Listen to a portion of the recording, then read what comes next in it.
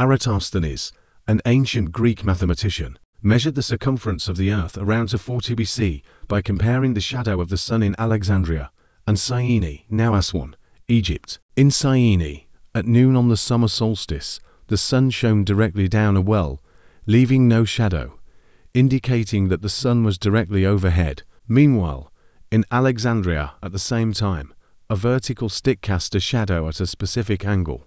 He calculated the angle between the two cities to be 7.2 degrees, which is equivalent to 1 50th of a complete circle 360 degrees, and estimated the distance to be about 800 kilometers. From this, he estimated the Earth's circumference to be around 40,000 kilometers, close to the modern value of 40,075 kilometers. Eratosthenes' measurement demonstrated that the Earth is spherical and laid the foundation for geography and mathematics.